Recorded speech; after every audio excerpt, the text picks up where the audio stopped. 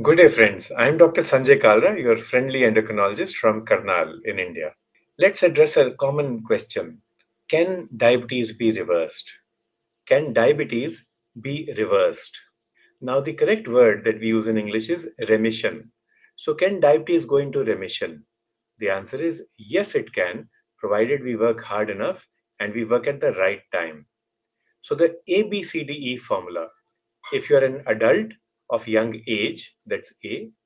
If you have high body weight and you are willing to bring it down, if your C for C peptide, that is pancreatic reserve, is adequate, which means you do not have type 1 or pancreatic diabetes, you have type 2 diabetes, and D for duration of diabetes, if that's short.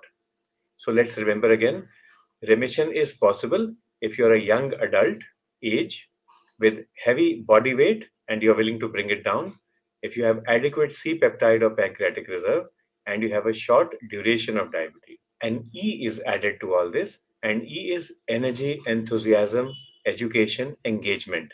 If you engage with your doctor, reach out for frequent monitoring, for frequent checkups, there are chances of remission. Do note that uh, this does not mean you should not follow a healthy lifestyle.